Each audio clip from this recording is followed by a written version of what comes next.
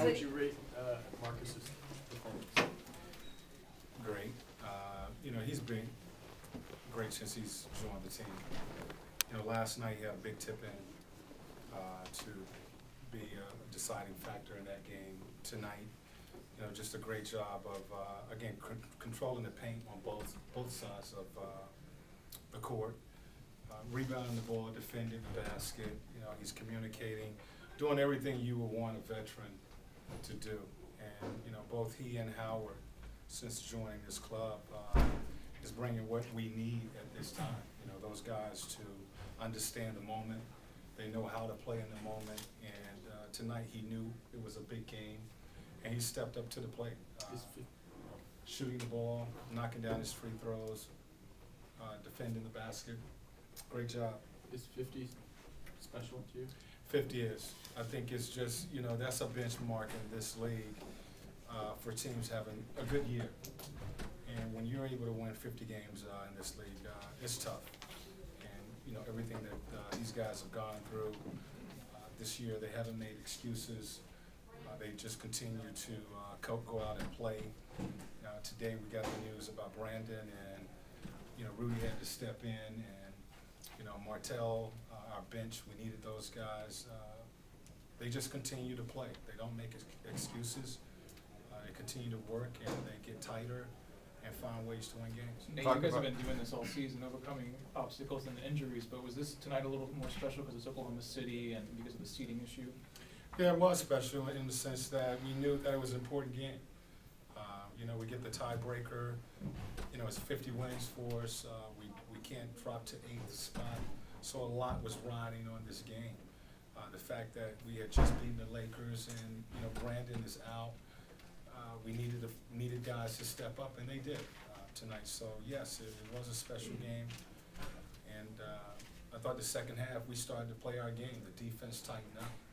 Offensively, we score sixty points, and we get sixty in the paint, so we were aggressive, throughout this game. Was there an adjustment you made on Durant coming out of the halftime? Because you really, they really clamped down on him. Well, I thought we did a good job of just sending, uh, you know, sometimes our guys get caught up in it's me against you, and it's not. Uh, And you know, we weren't uh, playing our rules on the defensive end of the floor.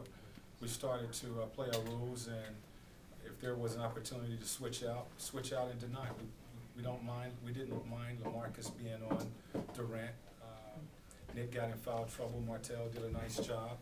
We kept him off the free throw line. He had nine free throws in that first half, only one in the second half, and that was a big key. We wanted to just body him, wear him down, and I thought our guys did that. But you What also your said double team help out him a lot. We started late, late, uh, we wanted to get a double team on him, so we were still switching with our four-man, but anytime Camby or the five-man was close, we wanted to, uh, double team him. If he got into an isolation, certain parts of the floor, we wanted to, uh, double team him.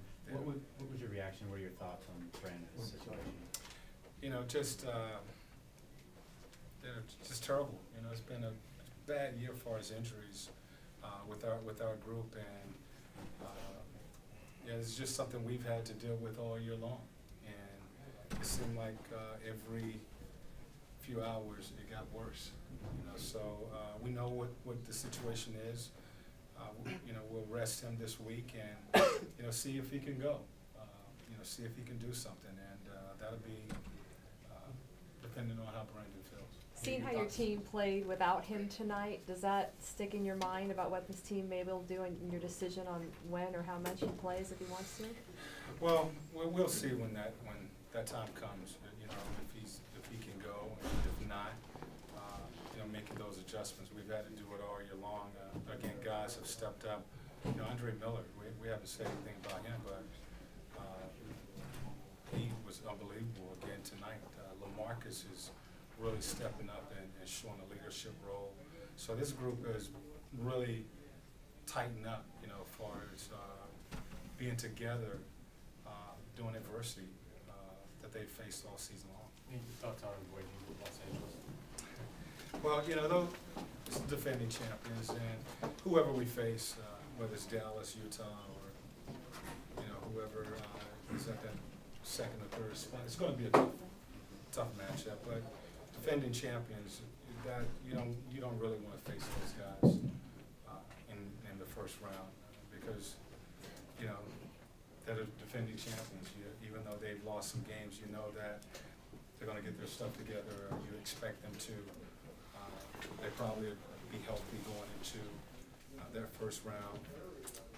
So you try and take your chances somewhere else if you If- Have you ever